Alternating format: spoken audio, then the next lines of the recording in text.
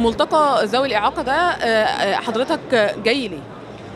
والله أنا جاي بشكل شخصي جدا عرفت من بعض أصدقائي وأنا ببقى حريص جدا على المناسبات دي لأن الناس دي ليها حقوق علينا وأنا بحبهم جدا وبحب أشاركهم وب- وبتبقى أسعد لحظاتي وأنا مع الناس دي. فأنت مش شايفة أنت السعادة اللي اللي وإحنا بنسلم عليهم نصور معاهم نرفع شكواهم للمسؤولين.